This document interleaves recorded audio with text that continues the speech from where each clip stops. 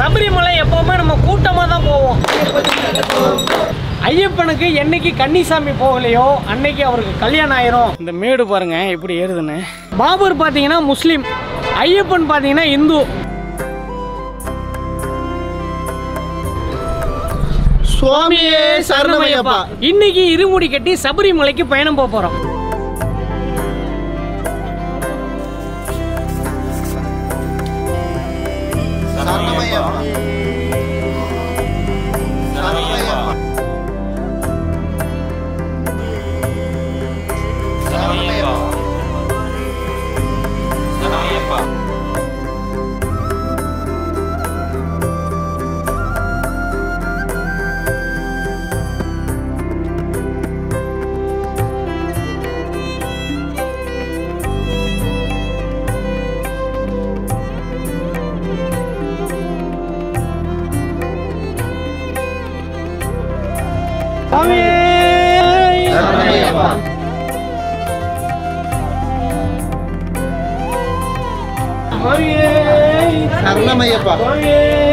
சரணமையப்பா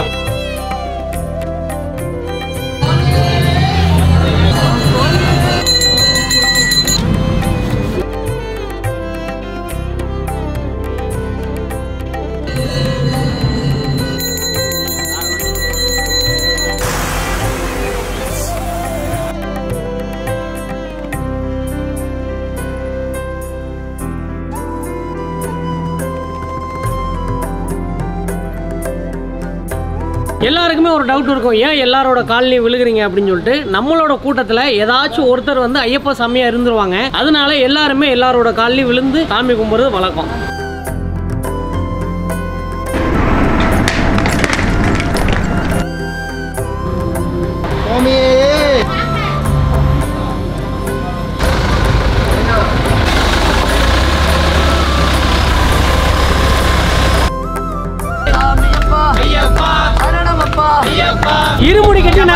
நாங்கள் இப்போ நேராக எங்கே போகிறோம்னு கேட்டிங்கன்னா எரிமேலி போகிறோம் எரிமேலி போயிட்டு பேட்டை துள்ளணும் அப்படின்னு சொல்லுவாங்க. நாங்கள் வந்து ஐயப்பனுக்கு மாலை போட்டிருக்கோம். ஆனால் நாங்கள் எரிமேலி எதுக்கு போகிறோம்னு கேட்டிங்கன்னா ஒரு மசூதிக்கு போகிறோம் முஸ்லீம் மசூதி.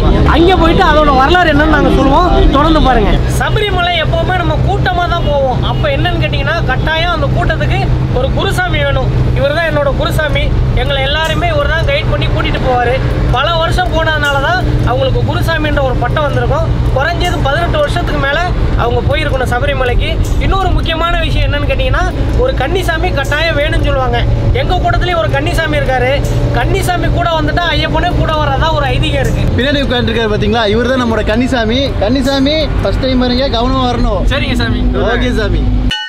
இருமுடிகட்ட சபரிமலைக்கு விரதம் இருந்தோமே ஐயன் கதிரொளி கண்ணின் தரிசனம் கிட்ட தவமும் கிடந்தோமே. இருமுடிகட்ட சபரிமலைக்கு விரதம் இருந்தோமே ஐயன் கதிரொளி கண்ணின் தரிசனம் கிட்ட தவமும் கிடந்தோமே.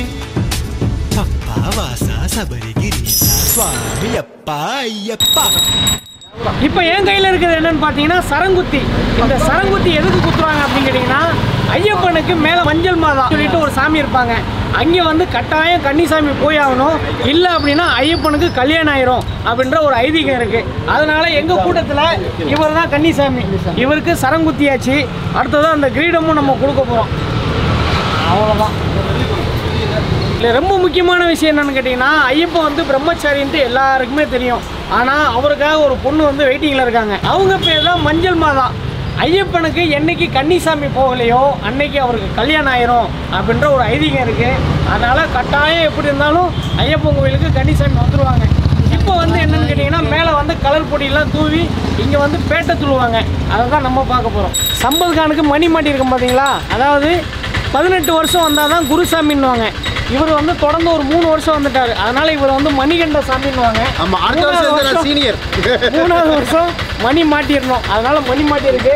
கலர் பொடி எடுத்து எல்லார் மேலேயும் அப்படியே அப்ளை பண்ணிடுவாங்க. பண்ணிட்டு இங்கே வந்து பேட்டை துள்ளணும் அப்படின்னு சொல்லிட்டு ஒரு சாங்கியம் இருக்கு. அதை பண்ண போறாங்க. ஃபர்ஸ்ட் சம்பத் கானுக்கு தான் ஆரம்பிக்க போறோம் சம்பத் கான் கன்னி ஃபர்ஸ்ட் கன்னிசாமிக்கு தான் அப்படியே பூசுங்க அடி அடி.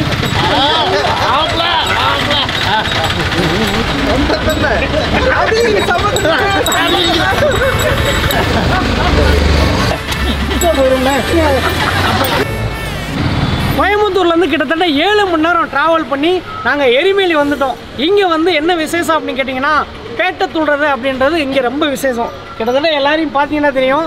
மேலே சாயம்லாம் பூசிட்டு பேட்டை துள்ள ஆரம்பிச்சிட்டோம். பின்னாடி பார்த்தீங்கன்னா ஒரு மசூதி இருக்கும். ஐயப்ப சாமிக்கும் மசூதிக்கும் என்னங்க சம்பந்தம்னு எல்லாருமே எதிர்பார்ப்பீங்க.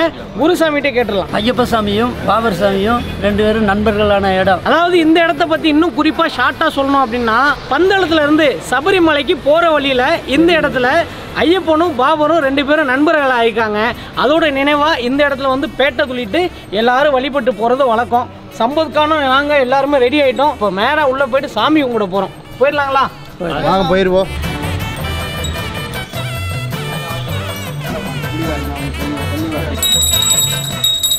கனிச்சாமி தேங்காய் உடைங்க வெரி குட் சூப்பராக உடைஞ்சிருச்சு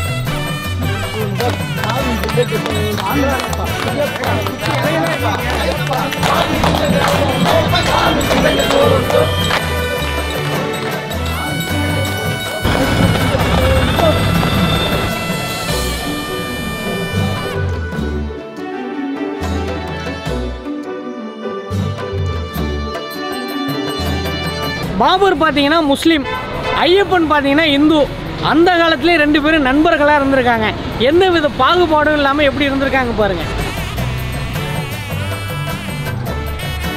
ஐயப்பன் கோவிலுக்கு போகும்போது எப்போவுமே ரெண்டு வழி சொல்லுவாங்க. பெருவழி சிறுவழி அப்படின்னுவாங்க. நாங்கள் இன்னைக்கு சிறுவழியில் தான் போக போகிறோம் ஆனால் பெருவழி இங்கேருந்து தான் ஸ்டார்ட் ஆகுது.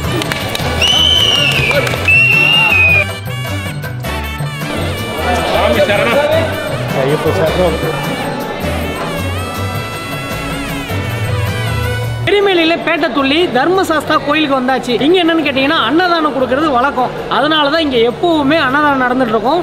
தர்மசாஸ்தான்னு அதுக்காக தான் சொல்றாங்க. வாங்க போயிருவோம் அன்னதானத்தில் கலந்துக்கலாம்.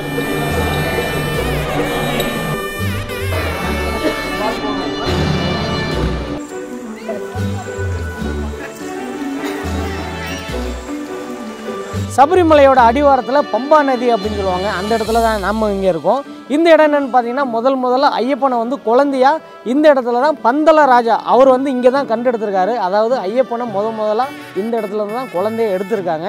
இங்கேருந்து தான் நம்மளோட பயணம் ஸ்டார்ட் ஆக போகுது. தொடர்ந்து பாருங்க. சாமி இந்த பம்பை நதியோட சிறப்பு என்ன சாமி? நிறைய வருஷம் வந்துட்டு இருக்கீங்க. அதனால் பம்பை நதியோட சிறப்பு சொல்லுங்களேன். நம்ம இந்தியாவில் வந்து பார்த்தீங்கன்னா காசி காசி ஒரு புண்ணிய நதி. அதுக்கப்புறம் பாபநாசம் ஒரு புண்ணிய நதி. அதுக்கப்புறம் இந்த பம்பை வந்து நமக்கு புண்ணிய நதி. பம்பையில் குளிக்க மூலியமா நம்மளோட பாவங்கள் முன்வினையில் செய்த பாவங்கள் எல்லாம் தீருங்கிறது வந்து நமக்கு ஐதீகம். பம்பை நதிக்கரையிலிருந்து தான் நம்மளோட சிறுவழிப்பாதை வந்து ஆரம்பிக்குது. இங்கேருந்து நம்ம ஒரு அஞ்சு மலை தாண்டி போகும்போது நம்ம ஐயப்பனை வந்து தரிசிக்கலாம். இந்தியாவில் எப்படி காசி புண்ணியஸ்தலம் மாதிரி கங்கா புண்ணியஸ்தலம் மாதிரி பம்பை இங்கே புண்ணியஸ்தலமாக இருக்குது? இப்போ எங்கள் எல்லாரோட தலைமையில் இருக்கிறது என்னன்னு பார்த்தீங்கன்னா இருமுடி. அதாவது இருமுடி கட்டி சபரிமலைக்கு போகணும் அப்படின்னுவாங்க இல்லையா? அந்த இருமுடியை தான் நாங்கள் கட்டியிருக்கோம். இப்போ இங்கேருந்து கரெக்டாக அஞ்சு மலை அஞ்சு மலையை நாங்கள் ஏற போகிறோம் அஞ்சு மலைக்கு நம்ம இந்த இருமுடியை இறக்கவே கூடாது. அப்படி இறக்கணும் அப்படின்னா குருசாமி இறக்கி வச்சா மட்டும்தான் இறக்கணும். நம்மளாம் இறக்கக்கூடாது. இந்த இருமுடிக்கு ஒரு விளக்கம் இருக்குது குருசாமிகிட்ட கேட்டுருவோம். சாமி இப்போ அந்த இருமுடின்னு சொல்கிறது எதனால அந்த இருமுடின்றாங்க? அந்த இருமுடியில் என்ன விஷயம்லாம் இருக்குது சாமி இருமுடி இருமுடிங்கிறது பன்னெண்டு வயசு அவருக்கு ஆகும்போது அவர் அந்த நாட்டை விட்டு வெளியே நான் காட்டுக்கு தனியாக என்னுடைய ஒரு இதுக்காக நான் போயிடுறேன். யாரு? ஐயப்பன் போகிறாரு ஐயப்பன் போகிறேன்னு அவர் கட்டு கட்டி இங்கே இந்த வழியில் நடந்து மேலே போகிறாரு சரி. அப்போ அந்த இருமுடி கட்டில் வந்து அவருக்கான முன்கட்டில் வந்து அவருக்கான ஐயப்பனுக்குரிய அந்த பூஜை செலவுக்கள்லாம் அதில் முன்கட்டில் வைக்கணும். பின்கட்டில் வந்து அவர் வழியில் போகிறபோது பசி எடுக்கிறதுனால அவருக்கு என்னென்ன சாப்பிடணும் அப்படின்றத பின்கட்டில் வச்சுட்டு போகிறோம். அந்த இருமுடியோட அந்த அவருடைய ஐயப்பாதில் நடந்து போன ஐதீகத்தை வச்சு நம்ம எல்லாரும் அதை பின்தொடர்ந்து அப்படியே போய் நடைமுறைக்கு கொண்டு வந்து பழக்கம் அப்போ ஒரு இருமுடியில் வந்து பூஜை பொருட்களும் இன்னொரு இருமுடியில் வந்து முன்முடியில் வந்து பூஜை பொருட்களும் இப்போ வந்து நம்ம கொண்டு போகிறது முன்முடியில் பூஜை பொருள் ஐயமனுக்கு சரி. பின்னாடி பின்கட்டில் வந்து நம்மளுடைய சாப்பாட்டு செலவுக்கு வச்சு கொண்டு வரோம் சரிங்க சாமி ஓகே. தெளிவாக உங்களுக்கு விளக்கம் சொல்லியிருப்போம்னு நினைக்கிறேன். பயணத்தை ஆரம்பிச்சிடலாம். சரணமையப்பா. சாமி நான் இந்த வருஷம் பார்த்தீங்கன்னா மூணாவது வருஷம். சரிங்க சம்பத் சாமி பார்த்தீங்கன்னா மணி கட்டி வைக்கிறேன் இதை கூட இங்கே மேலே கட்டிடுவேன். நீங்கள் எத்தனாவது வருஷம்? அதுதான் மறந்துருச்சு சம்பத் சாமி ஆஹா. எத்தனை வருஷம் தெரியல ஒரு ஆறு ஏழு வருஷம் இருக்குன்னு நினைக்கிறேன். இதெல்லாம் மறக்கலாமா? எல்லாம் ஐயப்ப ஏத்துக்கு பாரு போங்க. சுவாமியே! ஓம் சுவாமியே!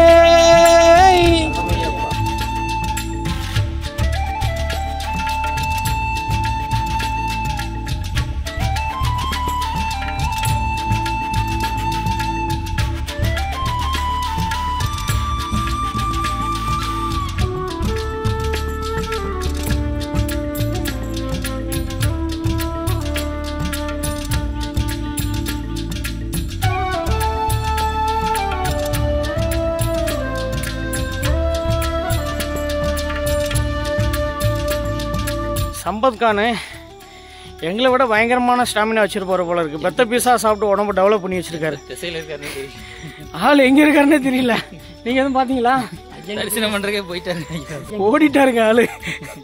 காணோம் எங்க இருக்காருன்னு தெரியல. போய் வேகமா பிடிக்கணும். இருக்கிறதுலே ரொம்ப கடினமான மலை இந்த அப்பாச்சி மேடு. கிட்டத்தட்ட இங்கே தான் இருக்கு இங்கே தான் இருக்குன்னு கூட்டிட்டு வந்துட்டாரு. நானும் நம்பி அப்படியே ஏறிக்கிட்டே இருக்கேன் போய்கிட்டே இருக்கு. ரொம்ப கடினமான பாதை இது.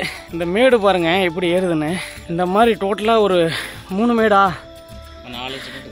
நாலஞ்சு மேடு இருக்கும். நீலிமலை. ஆ. நீலிமலை ஏற்றம் ம் அப்பாச்சி மேடு அப்பாச்சி மேடு ஏற்றம். ஆ. நாலு. பயங்கரமான பாதையாக இருக்கு.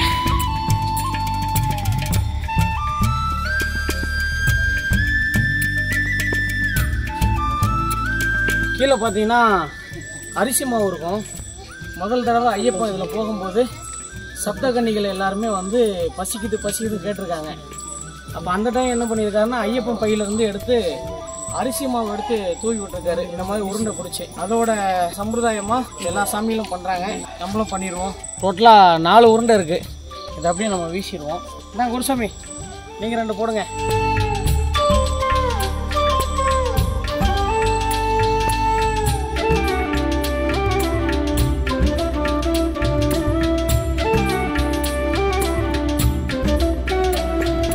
வந்து கரெக்டாக பார்த்தீங்கன்னா சபரிபீடம் அந்த இடத்துல வந்து ரீச் ஆகிட்டோம் இந்த இடத்துல ஒரு விஷயம் ஒன்று பார்த்தோம். என்ன அப்படின்னா இந்த இடத்துல தேங்காய் உடைச்சிட்டு அப்படியே மேலே போகணும் கன்னிசாமிங்க. இந்த இடத்துலயே வந்து என்னென்னு பார்த்தீங்கன்னா சரங்குத்தி வச்சிடுறாங்க. ஆனால் வந்து இது ஒரு தவறுதலான விஷயம். சரங்குத்திக்குன்னு ஒரு தனியாக ஒரு இடம் இருக்குது இனிமே வர கோயிலுக்கு வர ஐயப்பன்மார்கள் இந்த தவறு பண்ண வேணாம். முறைப்படி என்னென்ன பண்ணணுமோ அதை அதை நம்ம பண்ணிட்டோம் அப்படின்னா நம்மளுக்கு பின்னாடி வர சந்ததிகள் கரெக்டாக அதை ஃபாலோ பண்ணுவாங்க. சரங்குத்திக்கு போயிடலாம். கடினமான மலையேற்றம் எல்லாம் முடிஞ்சிருச்சு. இனிமேல் இந்த வழி எல்லாமே இப்படி கொஞ்சம் பிளெயினாக தான் இருக்கும். இனிமேல் கொஞ்சம் ஈஸியாக நடந்துடலாம். இப்போ நீங்கள் பார்த்துட்டு இருக்கிற இடம் தான் சரங்குத்தி. இந்த இடத்துல தான் சரங்குத்தணும்.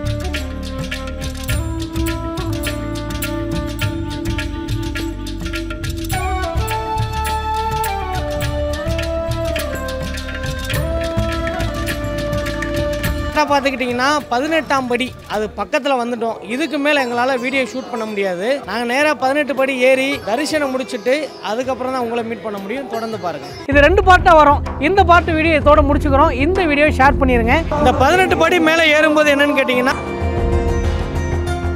எல்லாருமே சமங்கிறக்காக தான். ஐயப்பன் வந்து பிரம்மச்சாரி. ஆனால் இந்த மஞ்சமாதேவி என்னன்னா